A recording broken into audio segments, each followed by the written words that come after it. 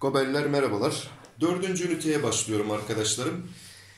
Benim kitabımda dördüncü ünite eşitsizlikler ünitesi olarak geçiyor. Eşitsizliklere başlayacağız arkadaşlarım. Yeni basımda eşitsizliklermiş. Ee, siz de bulunuz kendi kitabınızdan eşitsizlikler ünitesini. Buradan takip ediniz arkadaşlarım.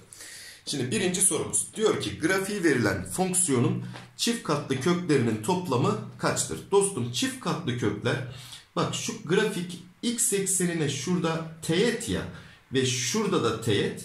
Bunlar bizim çift katlı köklerimiz olacak arkadaşlarım. Yani 5 ile 2 toplamları 7.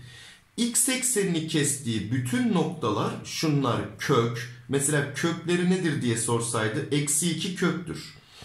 2 de köktür. 5 de köktür. Ama 5'ten çift sayıda varmış. Yani 2 tane, 4 tane, 6 tane kökü varmış. Yani 6 tane kökü 5'miş mesela. O zaman çift katlı. İşte 4 tane kökü 2'ymiş mesela. Çift katlı diyeceğiz. Bunlar kökleri çift katlılar 2 ile 5. Yani x eksenine teğet olan noktalarmış. Toplamları da 7 geldi. Bu ne diyor? Y eşittir fx fonksiyonunun grafiği x eksenini eksi 3 ve 5 noktalarında kesiyor. Peki grafik 1'e 0 noktasında x eksenine teğet. Bak teğet olduğunda ne oluyordu? Çift katlı kök oluyordu. Demek ki bir de çift kat varmış. Fonksiyonunun tek katlı kökleri toplamı. E demek ki şimdi eksi 3 ile 5'te de fonksiyon kesiyorsa burada da tek katlıydı kardeşlerim. Tek katlı köklerinin toplamı ne oldu? 2. Çift katlı köklerin toplamı ne oldu? 1. 2 birden kaç fazladır diye soruyor. 1 fazladır dedim kardeşim. 3 numaraya geldik. fx fonksiyonunun grafiği verilmiştir. Fonksiyonun tek katlı köklerinin toplamı hangisidir? Bak tek katlı. x eksenini kestiği noktalar. A, B, C tek katlı. İşte A artı B artı C tek katlı köklerinin toplamı. Tüm kökleri nedir? Bir de D'yi ekleyecektik değil mi? Ama D nasıl kök? Çift katlı kök. Çünkü x eksenine burada teğet olmuş kardeşim. Peki. Ne diyor bu 4 numara? x eşittir fy. Bakın burada x ile y yani şimdi ne yapacağım? fy gelmiş ya buraya. x eşittir diyor. O halde kökler y'nin üstünde olacak. Yani eksi 1 ile 2 benim köklerim. Köklerin toplamı da 2 ile eksi 1'in toplamı da 1 yaptı goberler. Evet bir numarayı gömdük. Burada çift katlı tek katlı kök ya da normal kök hangisidir onları öğrendik arkadaşlarım. Geldik bu soruya. Fonksiyonu veriliyor. Birbirinden farklı gerçel köklerinin çarpımı kaçtır? Denklemlerde yaptığımız gibi arkadaşlarım fx sıfırsa diyorsun. Bunların her birini tek tek sıfıra eşitleyeceğiz şimdi. Şurayı sıfıra eşitledim. Eksi 2 geldi. Burayı sıfıra eşitledim. 5 bölü 2 gelir. Şimdi şurayı sıfıra eşitleyelim arkadaşlarım. Bunu çarpanlarına ayırırsak 5'e 2 diye ayıracağız. O halde x bir eksi 5 gelecek. Bir de eksi 2 gelecek kardeşlerim. Farklı gerçel köklerini çarpın diyor. Yani eksi 2'yi bir daha çarpmaya gerek yok. 3 tane kökü var kardeşim bunun. Eksi 2 bakın çift katlı çıktı. Ama bir tanesini alacağım. Eksi 5 çarpı 5 bölü 2 çarpı eksi 2. Eksi 2 şu 2 ile sadeleşsin. Eksi 1 kalsın. Eksi 5 ile 5'in çarpımı eksi 25. Bir de 1, eksi 1 ile çarptım. Artı 25 oldu. 2 numara ne diyor? Denkleminin tek katlı köklerinin toplamı. Dostum bak şurada yukarıdaki kuvvet tekse tek katlı kökler var burada. Çiftse çift katlı kökler var burada. Demek ki çift katlı kökü mesela şuranın kökü çift katlı. Eksi 4. Çift katlı kökler eksi 4. Tek katlı kökleri bulalım. Şurayı sıfır eşitliyorum. x kare eşittir 1. x eşittir artı eksi 1 olur. Tek katlı kökler de eksi 1 ile 1 çıktı. Çift katlı köklerin toplamı yani eksi 4. Eksi 1 ile 1'in toplamından kaç fazladır? Eksi 1 ile 1'in toplamı zaten 0 yapıyor. Eksi 4 sıfırdan kaç fazladır kardeşim diye soruyor bize. Eee... Yok tam tersini mi soruyor? Tek katlı köklerin toplamı çift katlılardan kaç fazladır diye soruyor. Yani 0 eksi 4'ten kaç fazladır? 4 fazladır kardeşim dedim. Ve 3 numaraya geçtim. Denkleminin çift katlı kökler toplamı 6 olduğuna göre Aşağıdakilerden hangisi kesinlikle çift sayıdır? Ee, çift katlı kökler toplamı. Şimdi bir kere şurada bir çift katlı kökümüz var. Bakın burada ne var arkadaşlarım? 1. Kökümüz 1. Buranın kökü 3. Buranın kökü eksi 2. Buranın kökü de 5.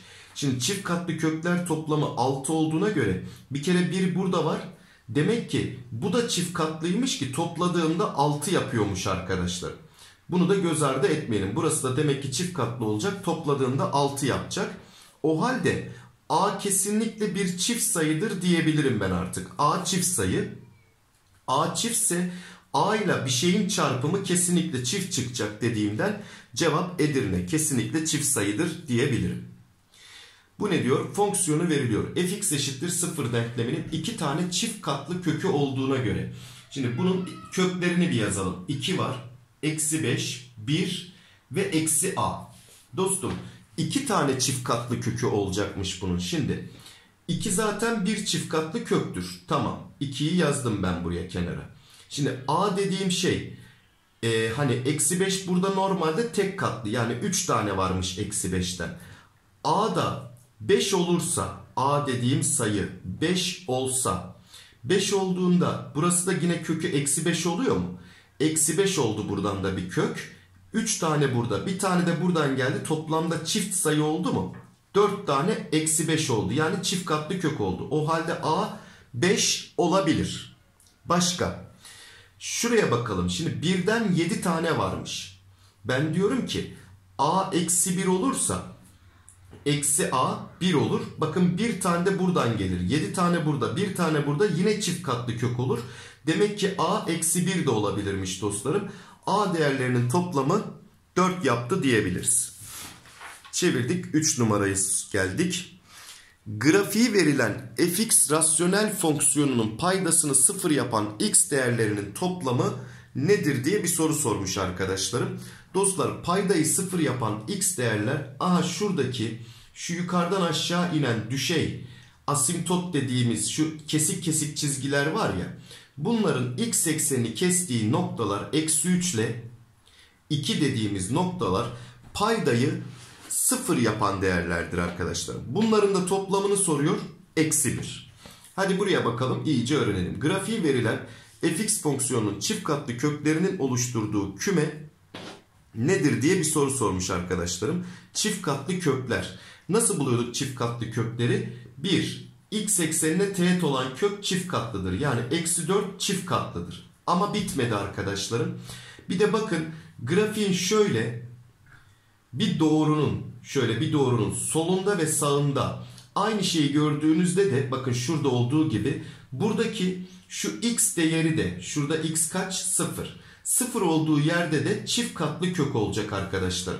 Çünkü x işte grafiğin bakıyorsun böyle aynı tarafında kalmışlar değil mi? Bunlar biri sağında biri solunda kaldıysa pardon. Buna biz elhamdülillah sizler de görün arkadaşlarım. Biz buna çift katlı kök diyecekmişiz dostlar. Demek ki sıfır da çift katlı kök. O halde eksi 4 ile 0 cevap Adana. Şuna bakalım. Fonksiyonun tanımsız yapan x değerlerinin çarpımı nedir diye bir soru sormuş. Şimdi tanımsız yapması için ne olacaktı arkadaşlarım? Düşey asimtotları bulacaktık biz. Eksi 2 var bir düşey asimtot şurada. Bir de 4 var. 4 ile eksi 2'nin çarpımını soruyor bize. Eksi 8'i paketledim kardeş. Bu ne diyor? Paydası bilmem ne olan. Şimdi bir ifade var. Paydası x kare eksi 4. E bunu sıfıra eşitlesek x kare 4. Yani eksi 2 ile artı 2'dir bunun kökleri. Böyle bir fonksiyonun düşey asimtotları x eşittir a. Düşey asimtot neydi? Paydanın kökleri. Tanımsız yapan kökler. Yani eksi 2 ile 2. Demek ki biri eksi 2 biri 2 olacak. Buna da göre diyor a artı b toplamı. Eksi 2 ile 2'nin toplamı da 0 yaptı dostlar diyebiliriz. Peki. Şimdi hemen 4 numaralı köşe taşımızı aldım. Bakalım bu ne diyor. x bir gerçel sayı olmak üzere. Tamam. Fonksiyonunda payı 0 yapan x değerlerinin toplamının payı 0 yapan x değerleri. Payı 0 yapanlar neler? Şimdi şuradan bir kere e, x kare eşittir 1 ise x eşittir bir şey gelmiyor. Kök yok. Bunu geçtim. Burayı 0 eşitledim. 3 bölü 2 geldi. Burayı 0 eşitledim 3 geldi. İşte payı 0 yapan değerler bunlar. Yani ne çıkıyor? 6 9 bölü 2'ymiş bunlar. Paydayı 0 yapan değerleri soruyor. Şimdi burayı da bir x parantezinde yazalım biz. x kare artı 5x artı 6. Bunun da çarpanlarını ayırırsak 3 ile 2 gelecek arkadaşlarım. Toplamları 5 oldu. Demek ki bir eksi 3 bir de eksi 2 geldi kardeşlerim. Buradan kökler. Toplamı bunların da toplamı eksi 5'tir. Bize neyi soruyor? 9 bölü 2'nin eksi 5'e oranı nedir diye soruyor. Yani 9 bölü 2 çarpı eksi 1 bölü 5'i soruyor. O da eksi 9 bölü 10 yaptı. Edirne'deymiş sorumuzun cevabı. Fonksiyonunu tanımsız yapan x değerlerinin toplamı. Dostum fonksiyonu tanımsız yapan x değerleri paydanın kökleridir. Demek ki burayı sıfır yapan bütün x değerleri yani üst tarafla işin yok senin. Burayı sıfır yapan x değerlerini topla diyor.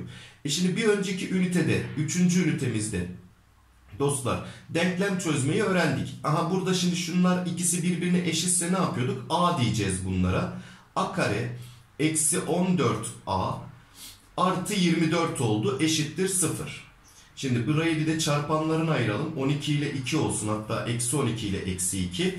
Demek ki A bir 12 çıkacak. Bir de 2 çıkacak A dediğimiz değer.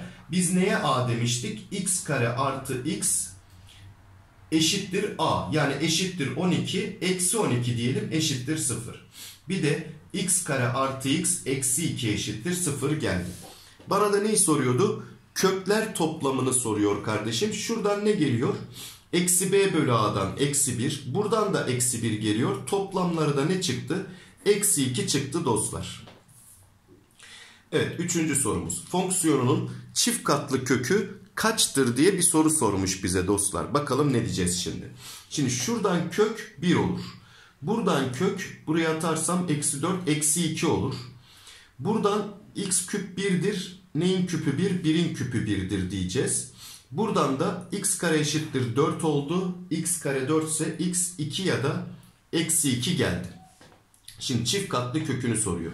1. Buradan çift kat geliyor 2 tane. E bir tane de buradan geldi bakın bir tane de buradan geliyor. 3 tane 1 var. Demek ki 1 çift katlı değil tek katlı arkadaşlar.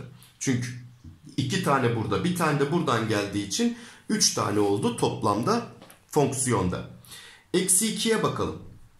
Bir tane burada var. 3 tane de burada var. Eksi 2 4 tane var. Yani çift katlı oldu eksi 2. 2'ye bakalım. 2 3 tane burada var. Başka da yok 2 bir yerde. 2 tek katlı oldu. Demek ki çift katlı kökü eksi 2'ymiş diyebiliriz dostlar. Şuna bakalım. Fonksiyonunda çift katlı kökler toplamı 4. Tek katlı kökü eksi 2. Zaten bak buranın kökü 4. Buranın kökü 4. Buradan bir 0 geliyor.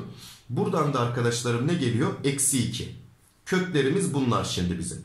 Peki eksi 2 neymiş? Tek katlı. O halde b dediğim sayı kesinlikle tek bir sayı olacak. Çünkü tek katlı kök.